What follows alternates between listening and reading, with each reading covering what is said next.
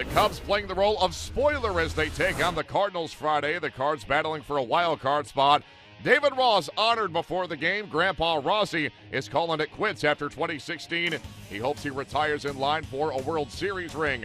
Jake Arrieta brought his A game on Friday. Jake Arrieta, 30 year old right hander, looking for win number 18. Carpenter, that's a strikeout.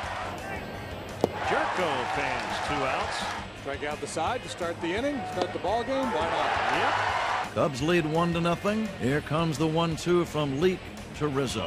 Line drive, base hit, left field. Bryant around third. Wong falls down.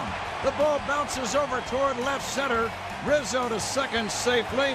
Cubs lead 2 nothing. Two wild pitches charged to Leake this inning. Nobody out. 3 2 to Zobrist. Base hit. Infield in. 3 nothing. Here's Coghlan batting, and the pitch to Coghlan. Pulled on the ground at first. Fair! Bouncing down the right field line. Rounding third is Heyward. He's going to try to score. The throw by Piscotty. Safe at the plate, Heyward. Over at third, safe is Chris Coghlan. Cubs lead 4 nothing.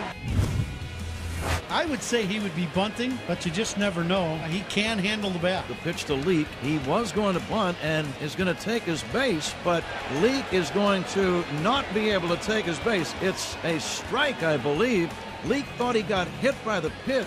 Mike Matheny does not like the call, but the home plate umpire C.B. Bucknor said you were trying to bunt the pitch when you got hit. Nobody out. Cardinals at first and second. Leake is showing bunt, however, and he bunts it out in front of the plate. Rizzo barehanding, throws to third in time. The throw to first. Double play. Three, five, four on the double play. Beautiful execution by the Cubs defense. Two down.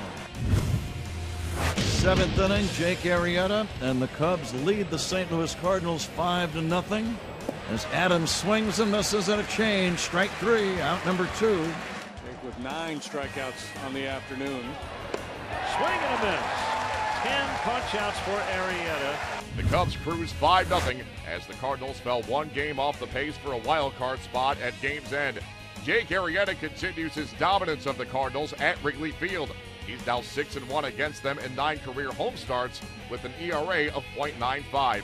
His former collegiate teammate Matt Carpenter is now 0 for 24 against him in his career in the regular season.